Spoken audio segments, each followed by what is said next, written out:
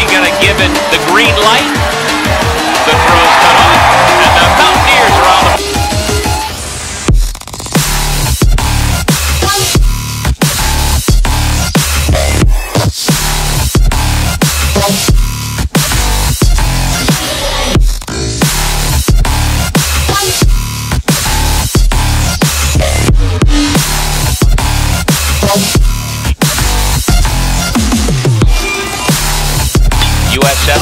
In Gainesville is gone. Gray with a deep drive, and it is out of here. A two-run blast.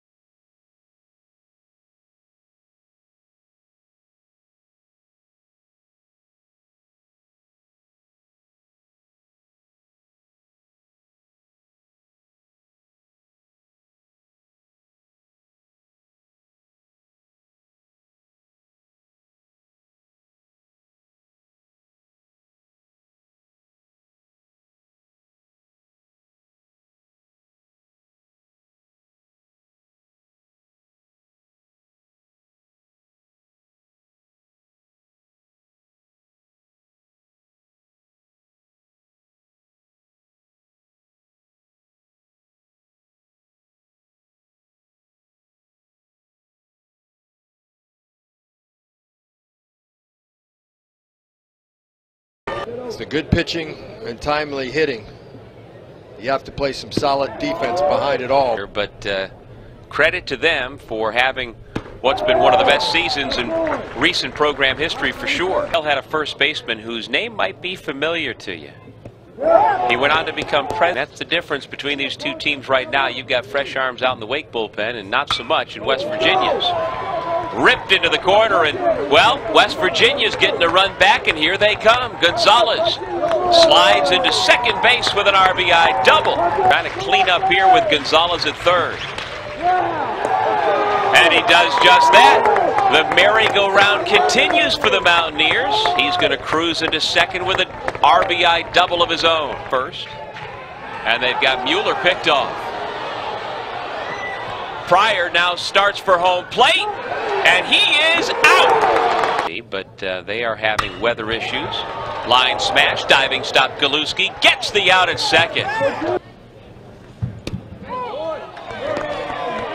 Strike three called. Brazil thought he had been walked. Instead, he's walking back to the dugout. And with two men out.